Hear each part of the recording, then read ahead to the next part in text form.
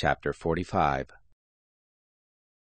Moreover, when you shall divide by lot the land for inheritance, you shall offer an offering to the Lord, a holy portion of the land. The length shall be the length of twenty five thousand reeds, and the breadth shall be ten thousand. It shall be holy in all the border round about. Of this there shall be for the holy place five hundred in length, by five hundred in breadth, square round about, and fifty cubits for the suburbs round about. Of this measure you shall measure a length of twenty five thousand, and a breadth of ten thousand, and in it shall be the sanctuary, which is most holy. It is a holy portion of the land. It shall be for the priests, the ministers of the sanctuary, who come near to minister to the Lord. And it shall be a place for their houses, and a holy place for the sanctuary. Twenty five thousand in length, and ten thousand in width shall be to the Levites, the ministers of the house, for a possession to themselves, for twenty chambers. You shall appoint the possession of the city five thousand broad, and twenty five thousand long, side by side with the offering of the holy portion. It shall be for the whole house of Israel. Whatever is for the prince shall be on the one side, and on the other side of the holy offering, and of the possession of the city, in front of the holy offering, and in front of the possession of the city, on the west side westward, and on the east side eastward, and in length answerable to one of the portions, from the west border to the east border. In the land it shall be to him for a possession in Israel, and my princes shall no more oppress my people, but they shall give the land to the house of Israel according to their tribes. Thus says the Lord God Let it suffice you, princes of Israel. Remove violence and spoil, and execute justice and righteousness, dispossessing my people, says the Lord God.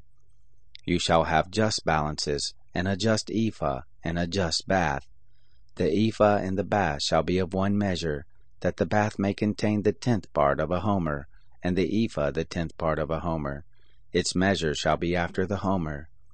The shekel shall be twenty gerahs, twenty shekels, plus twenty-five shekels, plus fifteen shekels shall be your mina.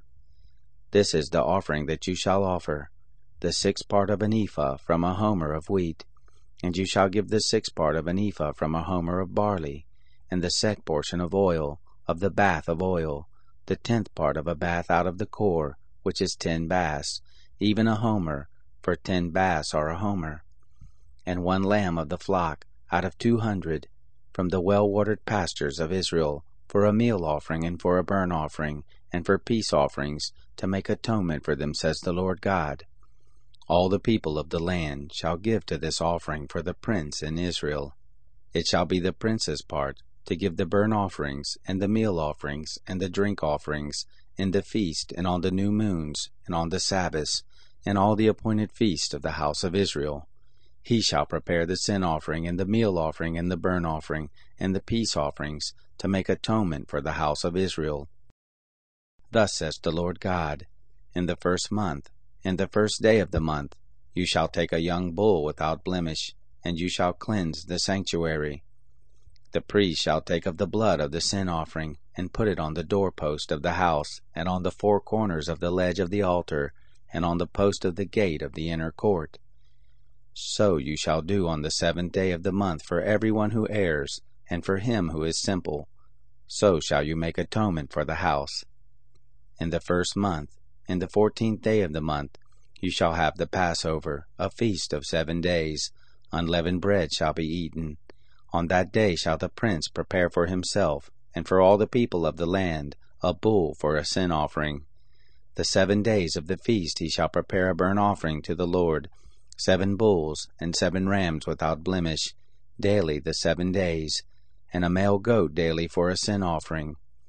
He shall prepare a meal offering, an ephah for a bull, and an ephah for a ram, and a hin of oil to an ephah. In the seventh month, in the fifteenth day of the month in the feast, shall he do the like the seven days, according to the sin offering, according to the burnt offering, and according to the meal offering, and according to the oil.